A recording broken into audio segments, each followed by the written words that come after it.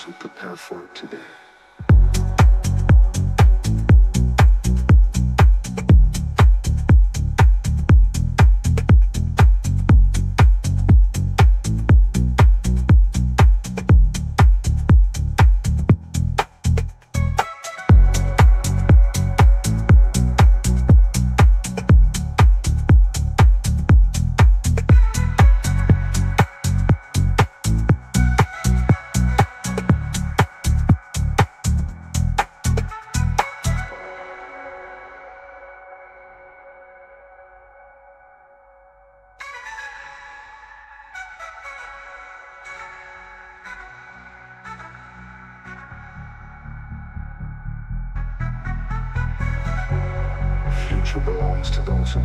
For it.